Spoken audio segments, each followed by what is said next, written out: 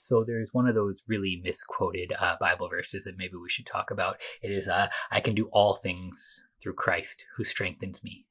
And it's, it's totally in the Bible. It's in Philippians. But but here's the thing. Uh, most of the time we quote it, uh, it, it's not so that we can do all things. Everybody who's quoting "I can do all things through Christ who strengthens me" is trying desperately, desperately to not suffer.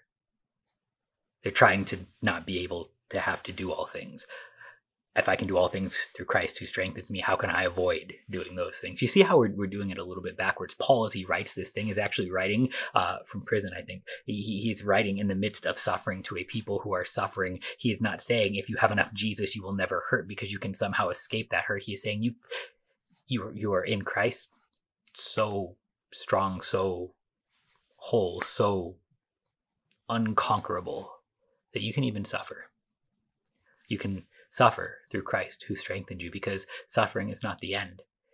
Suffering cannot peel away your salvation. It cannot peel away your life. It cannot peel away your hope. Rather, these are the very things that now suddenly bind us closer to Christ who suffered for us. Loss is not kept uh, oh, permanently now. When we when we lose people in this world, we can look forward to the resurrection where we will see them again, and so we can mourn even though we will not mourn as others do who have no hope. When we say, I can do all things through Christ who strengthens me, that is not an attempt to get out of doing most of them, but rather a, a bold challenge that there is nothing in the world that Satan can throw at you that can overwhelm our Lord.